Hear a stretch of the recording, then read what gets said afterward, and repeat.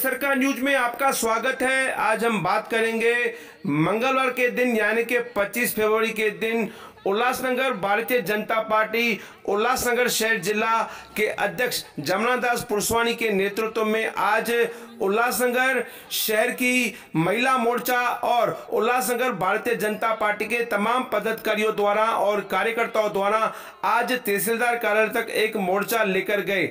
जमुनादास पुरस्वानी ने ये जानकारी देते हुए हमें बताया कि जिस तरह महाराष्ट्र में महिलाओं पर अत्याचार हो रहा है, आए दिन आपने ये देखा होगा कि तमाम न्यूज़पेपरों में महिलाओं के ऊपर हो रहे अत्याचार के बारे में जानकारी मिलती रहती है। उसी प्रकार से भारतीय जनता पार्टी के उल्लासनगर शहर जिला अध्यक्ष जमुनादास पुरस्वानी के नेतृत्व में आज भारतीय जनता पार्टी ने एक विशाल विरोध मोर्चा निकाला और वो अपना विरोध मोर्चा तहसीलदार कार्यालय तक लेके गए और अपने ओर से भारतीय जनता पार्टी जिला की ओर से उन्होंने तहसीलदार कार्यालय में अपना ज्ञापन सौंपा। आइए जानते हैं किस प्रकार का ये मोर्चा रहा और क्या कहते हैं भारतीय जनता पार्टी के पदाधिकारी और नेताजन। यहाँ पर ऑल ओवर इंडिया में, जहाँ पे हर भारत में, हर क्षेत्र में महिलाओं के पर जो अत्याचार हो रहे हैं, और सरकार कुछ भी नहीं कर रही है।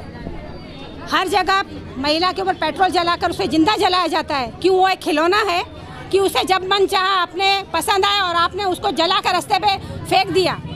और सरकार एकदम गूँगी बनकर बैठी हुई है, कुछ भी कदम नहीं उठा रही है वो। तो इस विषय को लेकर भारतीय जनता पार्टी महिला मोर्चा और भारतीय जनता पार्टी ने यह आंदोलन छेड़ा है कि महिलाओं को न्याय मिलना ही चाहिए, क्योंकि हर जगह पे जब माँ अपने घर से बेटी को रवाना करती है तो उसे दुख होता है कि मेरी बेटी कब वापस आएगी? सही सलामत वापस आएगी नहीं। उल्लासनगर में भी ये घटनाएँ होती है। चांदीबाई कॉलेज के लिए जा रहे एक लड़की रिक्शे में जैसे ही बैठी है, एक लड़के ने उससे छेड़खानी शुरू की। ये क्या हो रहा है यहाँ पर?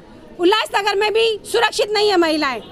तो इस आंदोलन को हमने छेड़ा है ताकि जो गूँगी सरकार है, तीन तिगाड़ी सरकार है, उसके खिलाफ ये मोर्चा है और ये मोर्चा जब तक सरकार न्याय नहीं देती महिलाओं को, तब तक ये मोर्चा शुरू ही रहेगा और महिलाओं में आक्रोश इतना है कि हम बोल ही नहीं सकते हैं।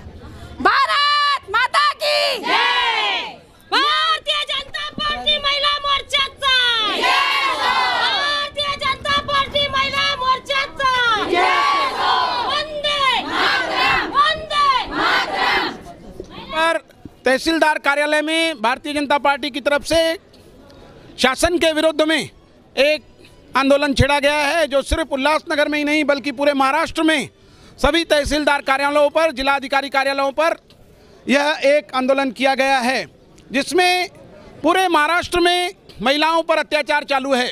रोज आप देखेंगे, न्यूज़पेपर की घटना जो है महिलाओं पे कोई ना कोई अत्याचार चालू है। कहीं पर बलात्कार की घटनाएँ, कहीं पर मोबाइल खींचने का काम, कहीं पर महिलाओं को लूटने का काम, स्कूल के विद्यार्थियों से छेड़खानी का काम पूरे महाराष्ट्र में चालू है। लेकिन शासन निकम्मा सोया हुआ है। शासन को जैसे जू नहीं रेंग रही है। और यहाँ पर भारतीय जनता पार्टी और शिवसेना ने मिलकर के जो चुनाव लड़ा था, हमने किसानों से जो वादा किया था कि हम सात बारह कोरा करेंगे, किसानों का कर्ज माफ़ करेंगे। लेकिन निकम्मी सरकार कांग्रेस और राष्ट्रवादी से मिलकर के अपने वादे से मुकर गई है। तो महाराष्ट्र में सात बारह कोरा होना चाहिए। और वारिस पठान जैसे लोग जो जातिवाद फैलाकर, धर्म के नाम पर जो महाराष्ट्र के अंदर हिंदुओं और मुसलमानों को लड़ाने का काम कर रहे हैं, ऐसे वारिस पठान को तुरंत गिरफ़्तार करके उनके ऊपर देशद्रोही गतिविधियों का आरोप लगाना चाहिए और उन्हें आतंकवादी घोषित करके देश निकाला देना चाहिए। वारिस पठान तुरंत गिरफ़्तार होना चाहिए।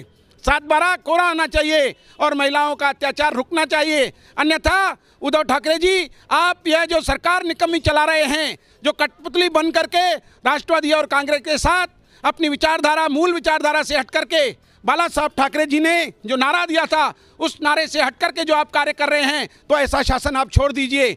गद्दी छोड़ दीजिए, अन्यथा महिलाओं पर अत्याचार बंद करिए। भारतीय जनता पार्टी ने आज ये जो रैली निकाली है, एक टेलर है, पूरे महाराष्ट्र में हम कई आंदोलन करेंगे और महाराष्ट्र के अंदर जन जागरण कर करके, हस्ताक्षर अभियान चला करके महिलाओं को जागृत करेंगे और यह ऐसी घटनाएँ हम तुरंत रोकेंगे। भारत माता की वंदे महिलाओं का अत्याचार नहीं सहे।